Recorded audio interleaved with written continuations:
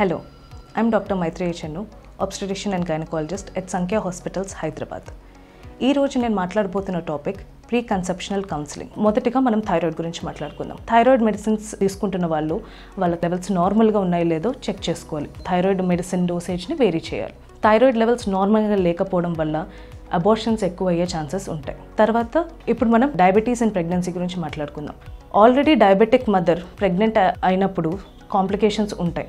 Mostly ఇవి uncontrolled sugars ఉండడం వల్ల కాంప్లికేషన్స్ ఉంటాయి. బ్లడ్ షుగర్స్ అన్నవి హెచ్బిఏవన్సీ టెస్టింగ్ ద్వారా మనం చేసి last three months blood sugar levels normal ఉన్నాయా లేదా అని డిసైడ్ చేసుకుంటాం.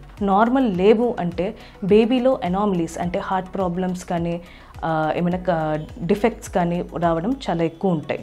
సో ఇవి హెల్దీ ప్రెగ్నెన్సీ ఉండడానికి మనం హెచ్బిఏవన్సీ అన్నది నార్మల్గా చేసుకుని ఆ తర్వాతే ప్రెగ్నెన్సీ ప్లాన్ చేయాలి. ఇప్పుడు మనము హైపర్ టెన్షన్ ఇన్ ప్రెగ్నెన్సీ అంటే బీపీ ఇన్ ప్రెగ్నెన్సీ గురించి మాట్లాడుకుందాం.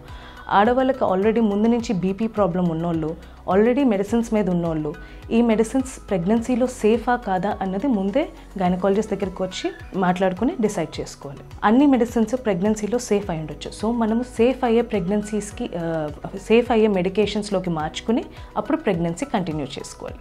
తర్వాత ఫిట్స్ ఎవరికైతే ఫిట్స్ ఉన్నాయో వాళ్ళు ఆల్రెడీ ఏ మెడికేషన్స్ మీద అయితే ఉన్నారో అవి కూడా మనం ప్రెగ్నెన్సీలో సేఫ్ అయ్యే మెడికేషన్స్ గురించి లోకి మార్చుకోవాలి. అండ్ లాస్ట్ సిక్స్ మంత్స్ నుంచి తనకి ఏ ఎపిసోడ్ ఆఫ్ ఫిట్స్ లేకుండా ఉండడం ఉందో లేదో అని కూడా మనము చూసుకుని ఆ తర్వాత కాంప్లికేషన్స్ రాకుండా ఉండడానికి మనం high dose of folic acid తీసుకోవాలి. నార్మల్గా అందరికీ four hundred micrograms of folic acid అవసరం. కానీ ఫిట్స్ ప్రా ప్రాబ్లమ్స్ ఉన్న వాళ్ళు మెడిసిన్స్ తీసుకుంటున్న వాళ్ళకి five milligrams of folic acid తీసుకోవడం చాలా అవసరం. ఎందుకంటే ఈ టాబ్లెట్స్ వల్ల ఆల్రెడీ బాడీలో ఉన్న ఫోలిక్ యాసిడ్ తక్కువ ఉంటుంది. సో ఈ మనం ముందు డిస్కస్ చేసుకున్నట్టు ఆ ప్రాబ్లమ్స్ రాకుండా ఉండడానికి హై డోసేజ్ తీసుకోవాలి మనం. ఫిట్స్ కాకుండా ఇప్పుడు హార్ట్ ప్రాబ్లం గురించి మాట్లాడుకుందాం. హార్ట్ ప్రాబ్లం ఉన్న ఆడవాళ్ళుకి ప్రీ కన్సెప్షనల్ కౌన్సిలింగ్ అన్నది చాలా అవసరం.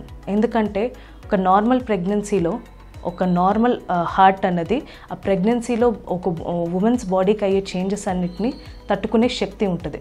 కానీ ఆల్రెడీ హార్ట్ ప్రాబ్లం ఉన్న వాళ్ళకి అది కష్టమవుతుంది. సో ముందే కార్డియాలజిస్ట్ని కూడా కలిసి మీ హార్ట్ ప్రాబ్లంకి uh, అవసరమైన చేంజెస్ అండ్ మెడికేషన్స్ ఏమైనా సర్జరీస్ ఉన్నా కూడా ముందే చేయించుకోవడం అవసరం. Other medical problems like thalassemia sickle cell anemia లేకపోతే ఇన్హెరిటబుల్ డిజీజ్ అంటే మన ఫ్యామిలీలో జెనెటిక్గా పాస్ అయ్యే ఏమైనా డిసీజెస్ అలాంటి డిసీజెస్ ఏమైనా ఉన్నట్టయితే బోత్ మదర్ అండ్ ఫాదర్కి టెస్టింగ్లు చేసి క్యారియోటైపింగ్లు చేసి ప్రెగ్నెన్సీలో పిల్లలకి వచ్చే ఛాన్సెస్ ఎన్ని ఉన్నది అని- ఎంత ఉన్నది అని కూడా మనం డిసైడ్ చేసుకుంటాం. ప్రీ కన్సెప్షనల్ కౌన్సిలింగ్ అన్నది ప్రతి ఒక్కరికి చాలా అవసరం. మీరు ప్రెగ్నెన్సీ ప్లాన్ చేస్తున్నప్పుడు మీ దగ్గరలో గైనకాలజిస్ట్ని కలిసి ప్రీ కన్సెప్షనల్ కౌన్సిలింగ్ చేసుకుని మీ ప్రెగ్నెన్సీ సేఫ్గా అయ్యేలా చూసుకోవడం చాలా మంచిది. Thank you